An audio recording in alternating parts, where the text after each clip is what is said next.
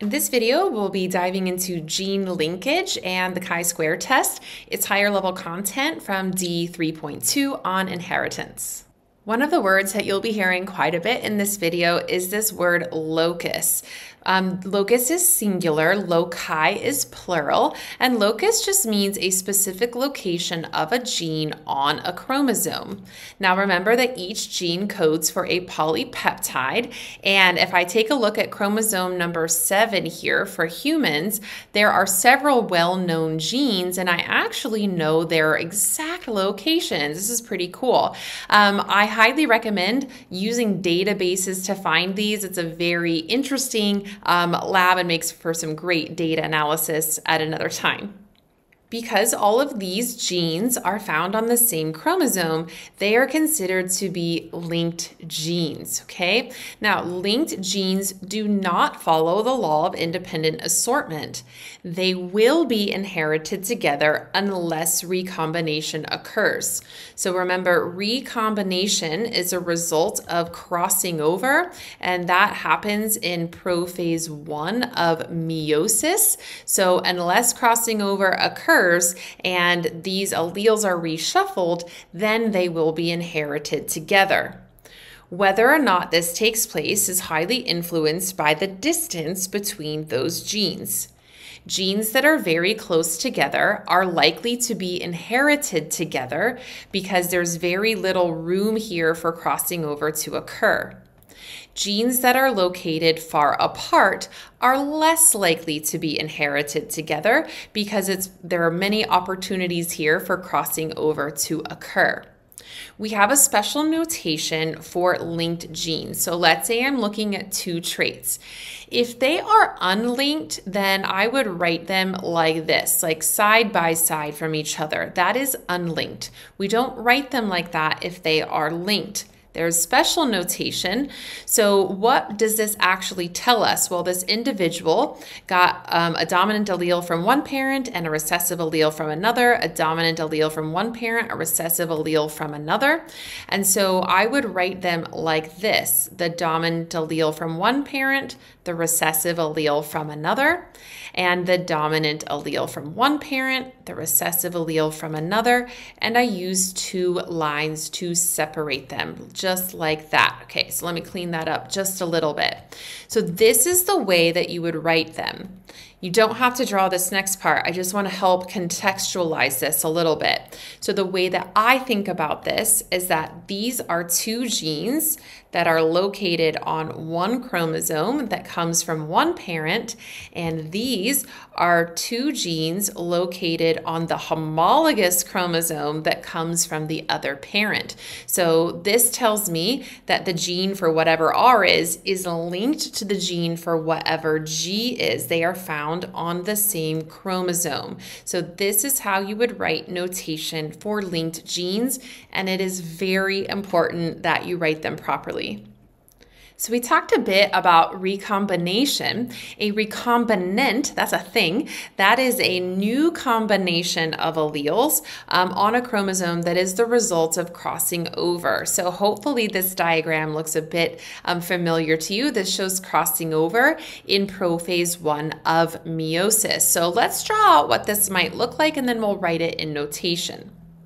So before crossing over, my homologous pairs might look like this, right? That one parent has the dominant allele for both traits and the other parent has the recessive allele. After crossing over, it might look like this, where there's been an exchange of alleles.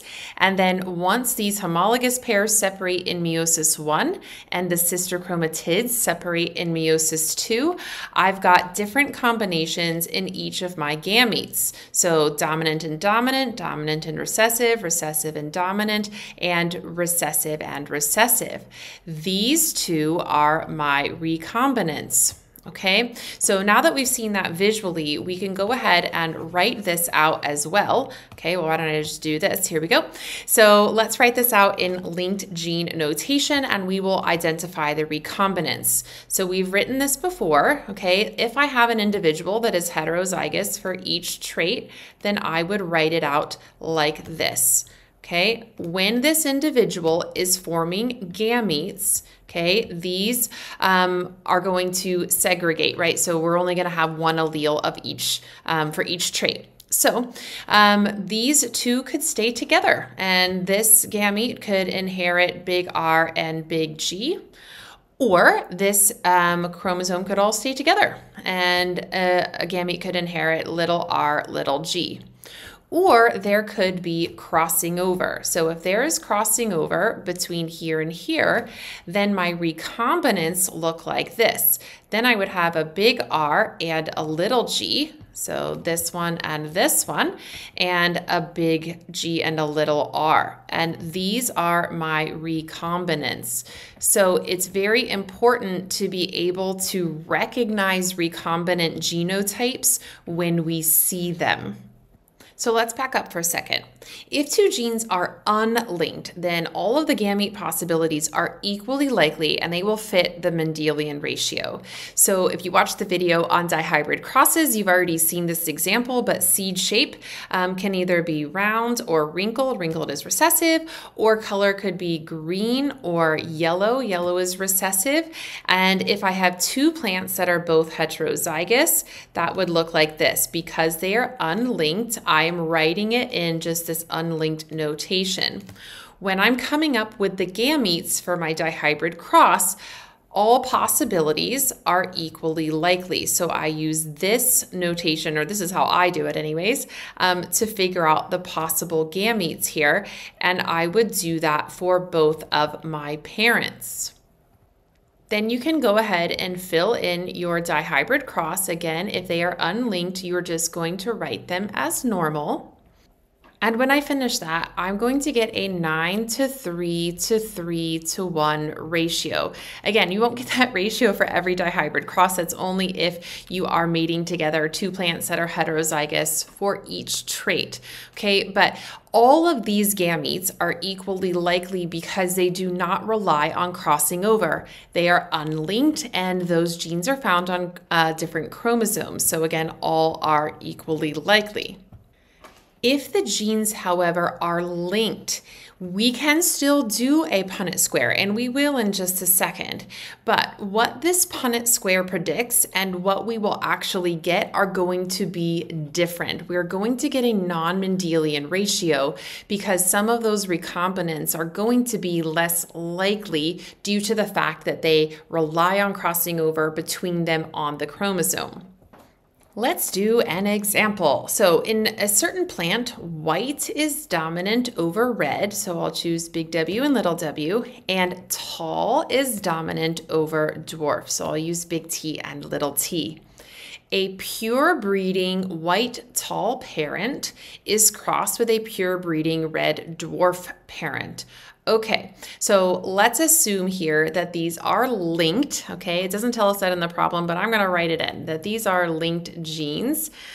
And so if I were to have a pure breeding, that means homozygous, white parent, that would be this, white and white, and tall and tall.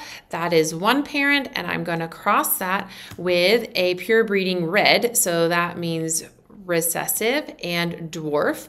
And that means that all of my offspring, so even if there's crossing over here, there's not a lot of choices, um, all of my offspring in my F1 generation are going to have this genotype. Okay, so this is going to be um, the genotype of all of the F1 plants. So I can use this to then get my Punnett square started. In some cases, there no crossing over will occur between these genes and the genotype for the uh, gamete will look like this.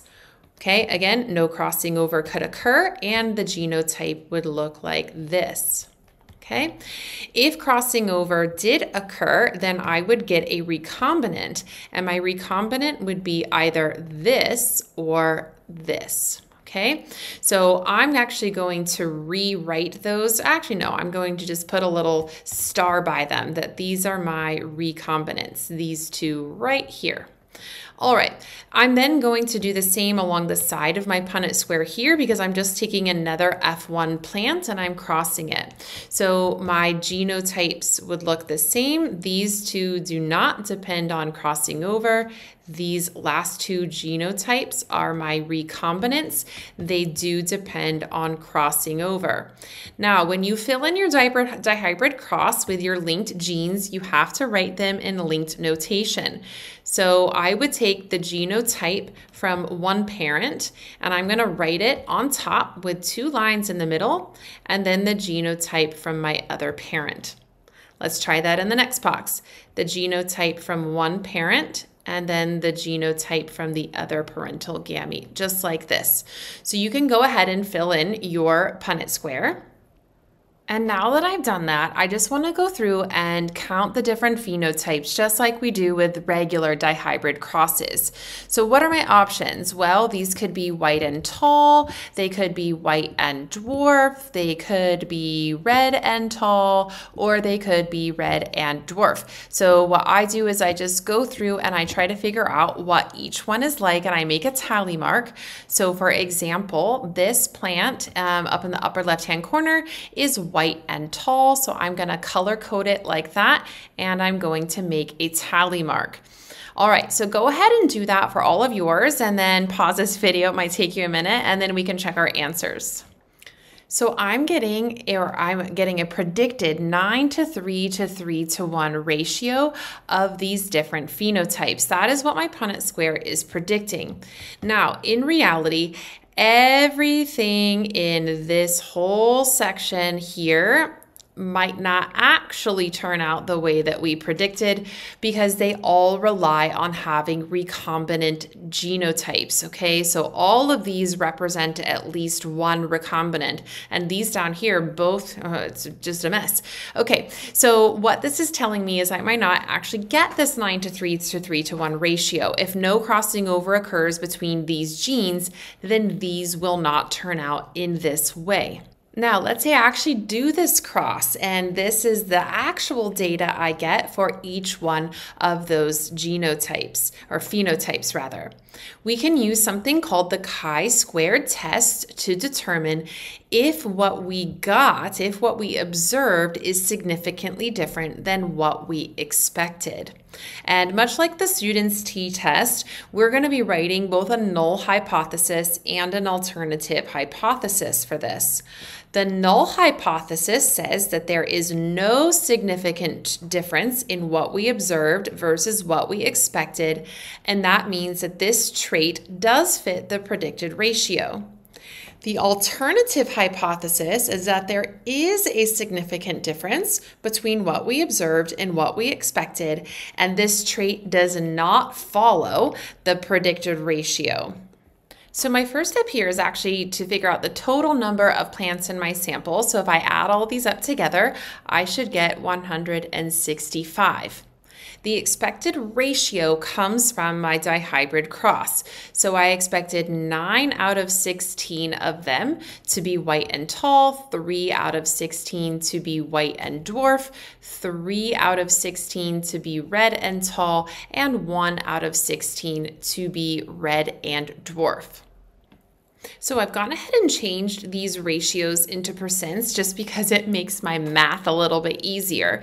Because in this next step, I need to figure out what were my expected numbers. So I knew what my expected ratio is. Well, if I had 165 total plants and I know what percentage of them should be white and tall, I just need to figure out what 56.25% of 165 is. And that is my expected number. So I should have been expecting 92.8125 white and tall plants, 30.9375 white dwarf plants, the same number of uh, red and tall plants and 10.3125 of the red dwarf plants.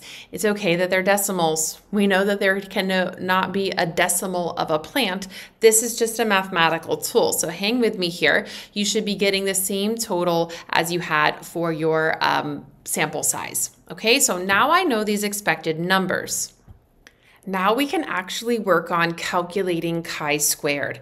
And to calculate chi-squared, you're going to take the observed value, that's what O is, minus the expected value, and you are going to square that and then divide that by the expected value. So to find this um, value here, I would take observed minus expected and square that and divide it by the expected value. And so when I do that for all four of my categories, here's what I'm getting. And what I want to find is the total. Now I've rounded a little bit, so it's okay if you're a tiny bit off from mine. But when I add all these together, I'm getting a value of 116. This is actually the only thing I care about in this entire table. This is the value known as chi-squared. And now I need to compare that calculated value. So my calculated chi-squared was 116 with a critical value in the table. Now for biology, we use the p-value of 0.05. So those are listed across the top. So I wanna look for something in this column and that's the, the cutoff value for confidence for biology. I need to cross-reference that with what we call the degrees of freedom. The degrees of freedom is going to be the number of categories minus one. Well, I had white and tall, white and dwarf, red and tall, red and dwarf. So in this case, I had four categories minus one, which means my degrees of freedom here should be three.